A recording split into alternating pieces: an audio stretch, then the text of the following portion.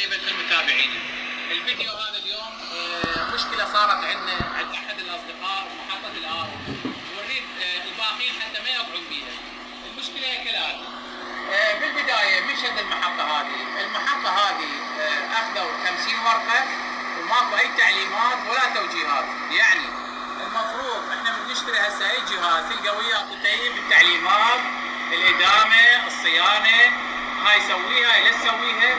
أبسط الشركات تسوي كتيب وياها. هاي الشركة نصبت وأخذت 50 ورقة وما أعطت أي تعليمات للإدامة للتنظيف. آه بعد ما وقعنا بمشاكل عديدة. راح أقول لكم مشاكل اللي صارت عندنا حتى ما تصير عندكم أنتم. المشكلة الأولى آه هذا الفتار المفروض ما يصير يفرغ من المي. صاحب المحطة. فرغ عنده من المي وبقى الموتور يشتغل سوى سحب عنده vacuum وانفجر هذا الضغط انكسف لل- للداخل يعني واتلف. هذا طبعا الفلتر تشوفونه هذا الطويل. هذا الفلتر سعره 300 ألف. هاي أول أول خسارة خسرناها بهاي المحطة. الشغلة الثانية. أكو إدامة. الشغلة الثانية شغلة ال membrane. هذا شوفون ال membrane. هذا منبرين هذا الجزء سعره تقريبا حوالي 400 إلى 500 دولار. المفروض المفروض الشركة تقول لنا لصاحب المحطة تقول له أكو إدامة يومية بماء المنبر ماء ال- ال- ال- الفلتر النظيف يومية تصير وأكو شغلة إدامة أسبوعية بال- عن طريق الحامض. هاي الشغلتين المفروض يسوي لنا محطة ثابتة للغسل. هاي المحطة ما سووا لها كل شيء. فإحنا هسه سوينا سوينا محطة ثانية زين آه الشيء اللي عندكم بأنه إذا انسد هذا المنبرين هذا الماطور الماطور الدفع اللي يدفع المنبرين راح يحمى ويحترق احتمال. هذا الماطور سعره 300000 تشوفون هذا الماطور كلش غالي. فهاي أحد المشاكل. شلون راح تعرف بأنه آه، صار عندك انسداد بالمنبرين. هذه الم- ال- المقياس هذا مقياس الماء ال- الحلو خلينا نقول أو ال- النقي المفروض يصعد بين ال 20 وال 25 هاي بداية المحطة. بس من ينزل عندك إلى أربعة أو خمسة معناته عندك صار انسداد بالمنبرين. فإحنا بعد ما وقع الفاس بالراس راح تشوفون الفيديو شلون سوينا ادامه عليه قدرنا نتخلص من هاي الأملاح اللي آه، والانسداد اللي صار بالمنبرين. فاللي نريد نقوله من تريد تنصب محطة رجاء. افرض على صاحب المحطة اللي راح ينصبها افرض منه تطلب كتالوج تطلب تعليمات تطلب طريقة الإدامة. يعني مو دائما ترجع لل- للشركة تعال سوي لي إدامة تعال بدل لي فلان شيء. زين؟ هاي بصالحهم حتى دائما تحتاجهم وهذا غلط. الشغلة الأخرى أصحاب المحطات المفروض اللي عنده معلومات ينور الباقين ليش يخلوها دائما المعلومات محصورة؟ مو هاي أجر بيها ليش هسه أخونا صاحب المحطة خسر خسائر هواية؟ ما يوصل النتيجة. المفروض أنت عندك معلومات قولها للناس ما راح تخسر شيء. هسه أنا بدي اطلع المعلومات ما نازل شيء بجيبي.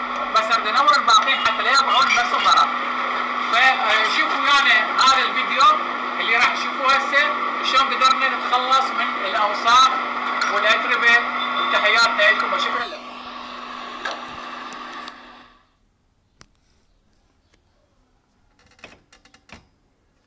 هنا مثل ما قلنا آه، المقياس هذا بالأصل كان تقريبا 20 إلى 25 فنزل عندنا المستوى إلى تقريبا 4 5 آه، دلالة ان إنه ماكو تصفية مي مضبوطة يعني مسدود عندنا المنبرين وهذا المنبرين سعره تقريبا 500 600 ألف دينار يعني حوالي 400 أو 500 دولار. آه، هنا بعد ما صارت المشكلة اتصل صاحبها بالشركة وقالوا له هاي راح نعطيك محاليل اثنين محلول حامضي ومحلول قاعدي حتى تعالج المشكلة ويمشي عندك مسافة حوالي يعني خلينا نقول شهر شهرين وبهالحال لازم تبدل منبرين. فاللي سواه صاحب المحطة هذا المنبرين هو اللي نقول لكم عليه وهذا الجزء الحيوي اللي آه، يصد الأوساخ والأتربة ويفلتر ال- المي. هنا طبعا نأسف على هاي الصورة لأنه صار خلل بالتصوير. راح نرجع هسه وياكم. آه، هنا سوينا المحطة الخارجية عن طريق آه، مد بوري للخلف إلى خزان. وهذا تشوفون ال- المي الطين دا يطلع بعد ما سوينا هاي العملية.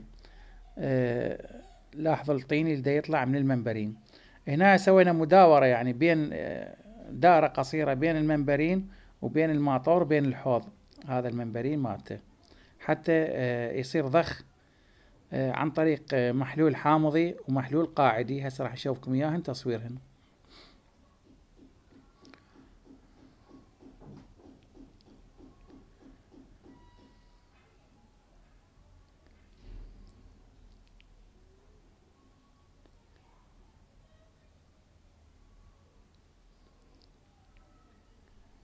هاي الأجزاء دا نشوفكم إياها مالت المحطة. آه لاحظ هنايا شلون آه المي دا يطلع.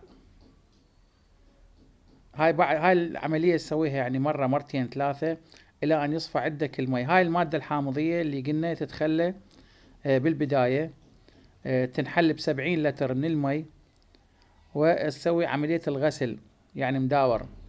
وأكو هاي المادة القاعدية هاي المرة الثانية أيضا نسويها أيضا آه، تنحل تقريبا سبعين أو ثمانين لتر من المي. بهذا الخزان وتسوي عملية مداورة. يعني الماطور يسحب من هذا الخزان يضرب على المنبرين يطلع الوسخ مالته ويرجع لنفس الحوض حتى يسوي له غسل. وبعدين تذب المي وتعيد العملية مرتين ثلاثة يعني تقريبا خلال ساعة ساعة ونص تتم العملية. المادة الحامضية بالأول أول مرة شفتوها وبعدين القاعدية. وراح تشوفون النتائج شلون يطلع المي الوسخ آه، التكلسات اللي محصورة بالمنبرين اللي سادة المنبرين. على آه، خروج المي. هاي هسه الغسلة الأولى اللي سويناها. لاحظ المي شلون وسخ. هذا المفروض يطلع لك مي نقي زلال لأنه تعرفون هاي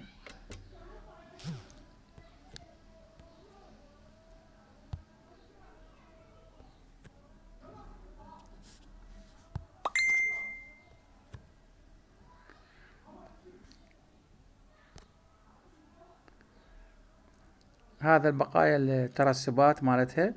تسوى مرة غسل آه بعدين تخلي مي حلو يعني مي آه RO وتغسل بيه آه مرة ثانية وثالثة إلى أن تشوف المي يطلع عندك آه صافي مية بالمية.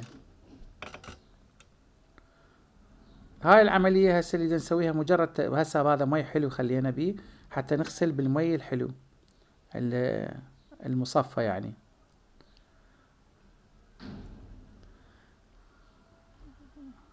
هاي المفروض هاي كلها مصممة من ضمن المحطة يعني مو دائما تطلع خزان. هسه لاحظ أول بداية راح يطلع مي نظيف لاحظ المي شلون صار وسخ. باعه باع الطين دا يطلع من ال membrane. يعني إذا نذب مي حلو شوف شلون يطلع لك مي كله طين. فهاي العملية تسويها آه، مرتين ثلاثة إلى أن تشوف المي يطلع لك بعدين مي نظيف. أيضا تتكرر العملية. من يشوف المي يطلع صافي معناته انغسل منبرين. والحمد لله والشكر تمت العملية بنجاح وهسه المحطة قامت تشتغل بس اللي يريد نقوله آه، لازم تتحذر من هاي الشغلة لأنه المشروع تكاليفه هواية. لاحظ هسه شوية أخف صارت. كل ما تغسله زايد يطلع عندك الوسخ والطين. تحياتنا لكم وشكرا لكم